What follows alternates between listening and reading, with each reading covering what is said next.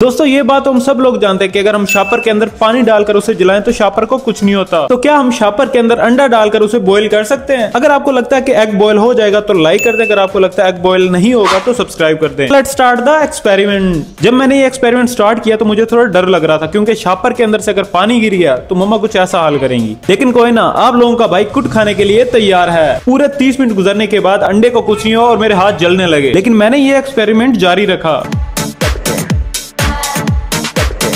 एक घंटे के बाद जब मैंने अंडे को देखा तो अंडे को कुछ नहीं हुआ, लेकिन शापर अभी वैसे का वैसा था। ये एक्सपेरिमेंट मैंने इसलिए खत्म किया क्योंकि मुझे अपनी शॉप पे जाना था। अगर आप लोग चाहते हैं मैं ये एक्सपेरिमेंट दोबारा करूँ तो आप लोग कमेंट कर सकते हैं।